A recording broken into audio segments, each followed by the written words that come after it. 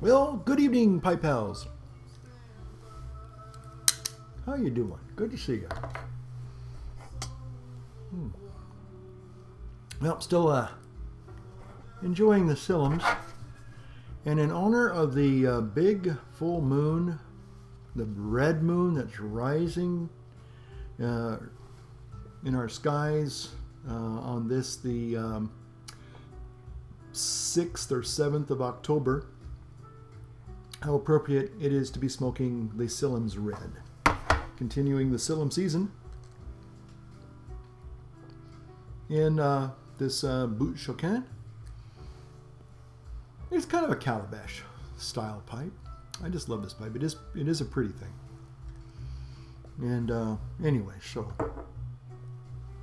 got the old smoking jacket on tonight. It's uh, it's actually pretty hot here in Northern California. It's like 90. It was 93 degrees today.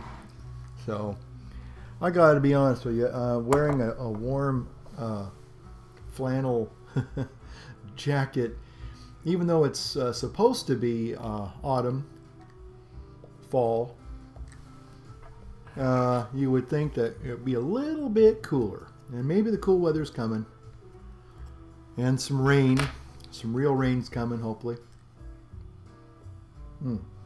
But anyway, tonight I just wanted to uh, get on here real quick and I was going to have a few. There we go. A little bit of a, just a little bit of chat here. Let me get this little thing here down. Because I have discovered something tonight, which I think might almost be a first. Actually, I, have never seen a pipe presenter talk about the issue I'm going to talk about tonight.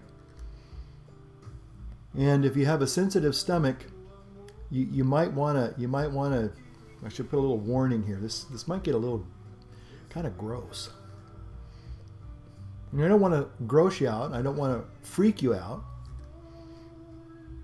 But something just happened about five, ten minutes ago. That's why I'm even making a video tonight. Hmm. This is probably the first pipe I've had since my last video, which was what last week. And apologize for the the extreme length of that last video. You know, I just got carried away. I was having one of those magical pipe evenings.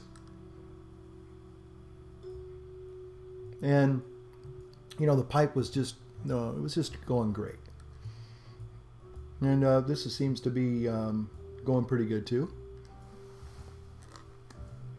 I just wanted to say a shout out, answer a question uh, one of my new uh, viewers, Per Ola from Sweden, beautiful part of Sweden, um, asked a question, asked a couple questions, but I think I'll try to answer this question for him. He said, uh, Do you need to have a, a pipe for each tobacco you smoke? Well, no, not really. I mean, I, I mean, there are some people that probably do.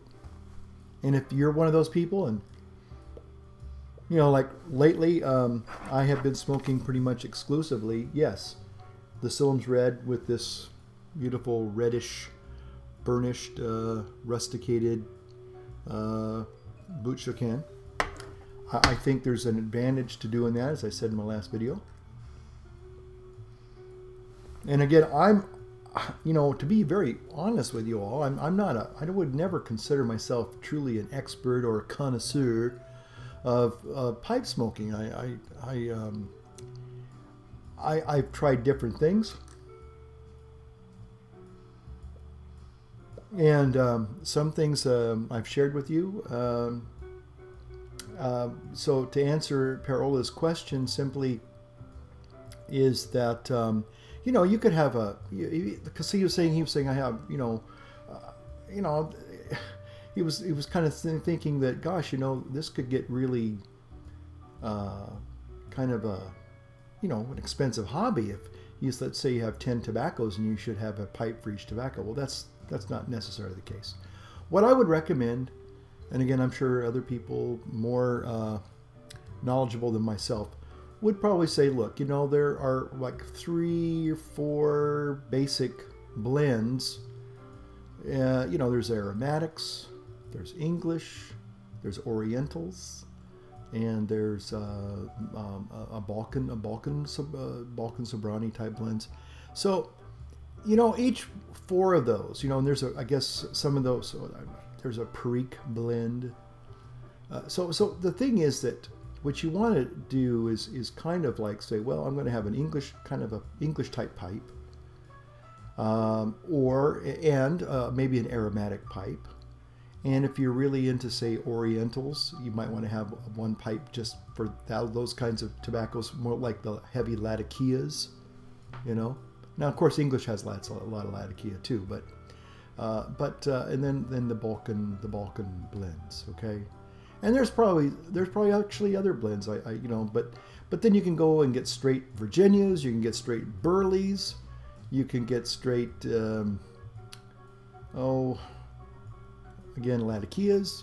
You know, you you can get you can get some pretty standalone basic tobaccos and even try just a straight burley if you wanted to do that. Um, mostly tobaccos are a blend of different things with a little bit more of a heavier blends of you know uh, you know like they have you know they you can even blend your own actually. You can get uh, blending blends i think maybe from Cornell and Diehl uh, maybe pipes and cigars. I think they do have just basic bulk blends of the individual you know you could probably get a, a a bag of Perique, you get a bag of Burley, you get a bag of Virginia, you get a bag of uh, Latakias, and you know you could kind of mix and match your own, make your own, you know, um, blends if you want. Um, but again, there's there's just there's other ways of curing the tobaccos, and again, I I don't know all of the the uh, the artistry and science that goes into procuring and curing tobaccos, so but but some tobaccos are just you know they're very unique. Um, some of them, uh, like I was talking about last video, they can be cased. They can have a you know a topping on them that gives them an extra flavor, like the cherry and the berry and the vanillas and the chocolates and things of that nature. So anyway, uh, you know you don't have to have a whole lot of pipes to enjoy different blends. Now, as I've been talking, I let this pipe go out, and I'm going to probably sneeze here in just a minute. Okay, but uh, why I'm here tonight is because of this pipe and what's in it. This is again my Sheraton. I've been kind of going between. Again, this is kind of a the the uh, this is a good example, I would say. cross pipes like you know skull skull and crossbones, you know skull and cross pipes, you know. Ooh, there's a there's a logo for you.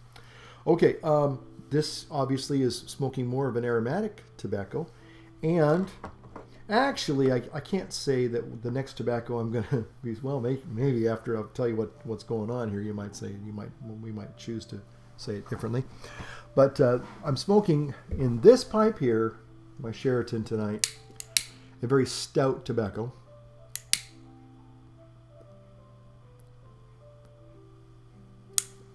And I want to check something out here before I tell you what I'm smoking here.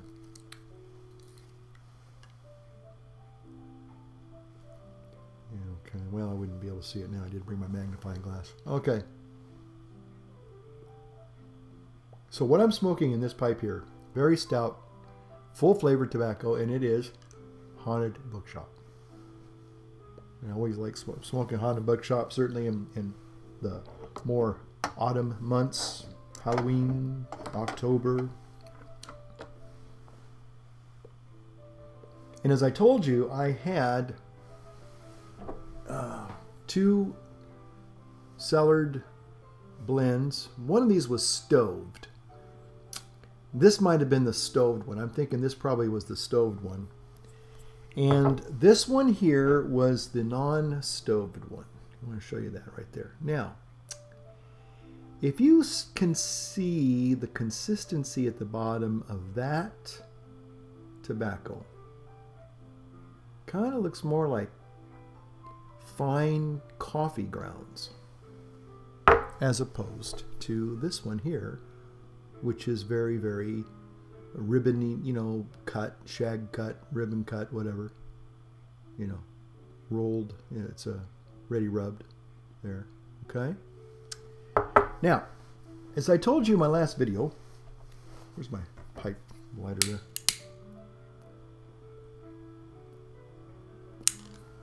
Good old haunted Bookshop. Definitely an acquired taste. It is a pretty much a stand-up burley. And if you like burleys, you're to love haunted Bookshop. Mm-hmm. There's just like nothing like it, folks. Um, what, three years ago, when uh, Matches H60 started talking about Haunted Bookshop, I'll tell you what, it just intrigued me. And I thought, gosh, there's got to be something kind of, well, I didn't even dare say extra special about Haunted Bookshop. It's just one of those, it is the most unique tobacco that I have ever tasted and smoked. Now, I'm not saying I would give it a 10 or a 9. It's what I'm I guess what I'm would say is I would give it a 7 or an 8, 7.58 because it is a tobacco that I had to kind of learn to appreciate. If you like the flavor of kind of stout burley, you know, sort of like French roast. I mean, I'm, I'm comparing. So you know, there's coffee and then there's French roast. Okay, and French roast is a very more is more, shall we say, stronger, more full-bodied coffee, and some people probably don't care for that strong of a coffee. And, and Haunted Bookshop definitely is a very strong tobacco. I mean, in its flavor, in its its taste character, its nicotine punch, it's it's just a strong tobacco. So anyway, that being said, um, I've had this bag, and then I put it into these tins from about three years ago. One I stoved. I actually put it in the stove and uh, baked it for maybe an hour, 45 minutes. I can't remember now. And there was a guy who recommended um, stoving your uh, your tobaccos, and then it, you know, it would seal the the, the uh, you know it would seal vacuum seal the uh, the tobacco there. And uh, anyway, so that being said, as I told you, I think the last video, this one here. Okay, uh, this one here smells just like Haunted Bookshop, the way it was, you know, when I first got it, you know, three years ago, and it still has that moist, perfect consistency of Haunted Bookshop. But this it had a very ammonia smelling, as I said, the hint of road apples. Okay, horsey poo poo.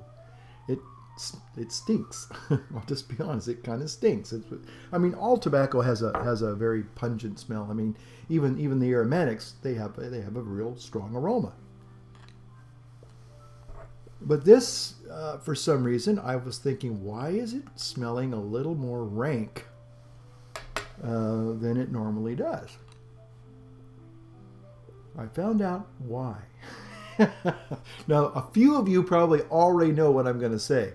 But those of you who don't know what I'm about to say, I hope you're sitting down because it gets a little, gets a little, ew, makes you feel kind of. I feel kind of creepy. Going to tell you what I'm going to tell you.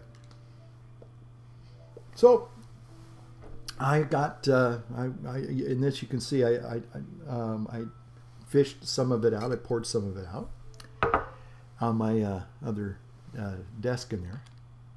Started loading my Sheridan, and as I looked down the little pile of tobacco, I no first I noticed it seemed to be very fine, powdery almost, almost like snuff. I'm going, that doesn't make sense. Why would this be more like a powdery snuff consistency almost?